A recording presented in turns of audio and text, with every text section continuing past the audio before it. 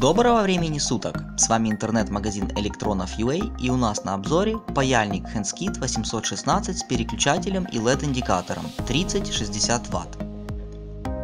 Паяльник HandsKit 816 предназначен для пайки компонентов микросхем и проводов.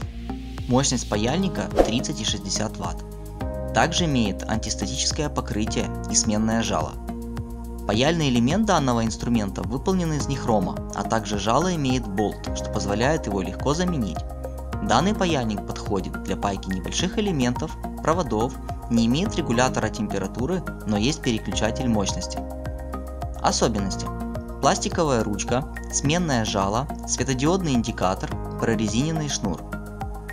Характеристики. Мощность 30 и 60 Вт, тип нагревателя нехромовый, Напряжение паяльника 220 вольт. Надеемся, что видеообзор был полезен для вас. Ставьте лайки и подписывайтесь на наш канал. До новых встреч!